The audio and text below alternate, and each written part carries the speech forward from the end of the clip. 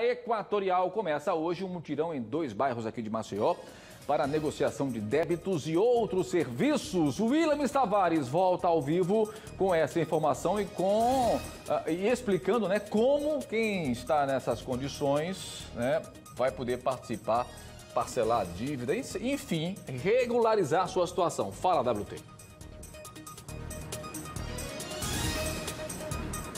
Sem dúvida, Papito, durante esta semana, a Equatorial vai promover essa ação itinerante em Maceió. Sobre isso, vamos conversar agora com a Patrícia Moraes, ela que é gerente de relacionamento com o cliente. Patrícia, bom dia. Que ação é essa? Bom dia. É, uma, é o É Mais Comunidade.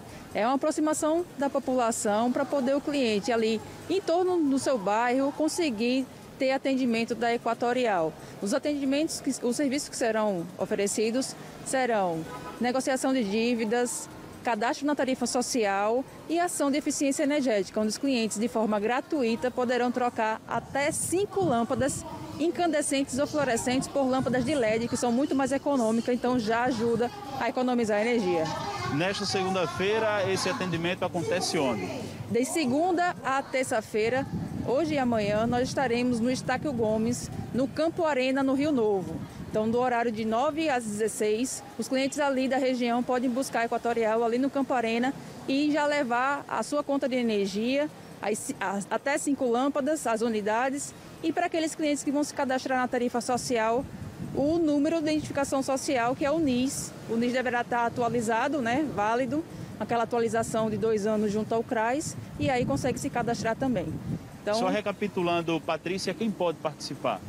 Quem pode, todo mundo pode participar. A gente estava comentando agora que quem não tem um serviço vai buscar a Equatorial pode trocar a lâmpada. Então não, não percam e busque lá o atendimento fazendo a troca de lâmpada. A partir de quarta-feira, nós estaremos na Praça da Faculdade com a mesma ação. Então, de quarta a sexta-feira, de 9 às 16, na Praça da Faculdade. E nessa segunda e terça, no Campo Arena, no Rio Novo. Então, lembrando, até cinco lâmpadas e cliente da tarifa social que dá até 65% de desconto na conta de energia. Então, os clientes que podem participar da tarifa social são aqueles que recebem e têm renda familiar de até meio salário mínimo por pessoa. Lembrando, não precisa ser nem o titular da conta de energia para se cadastrar.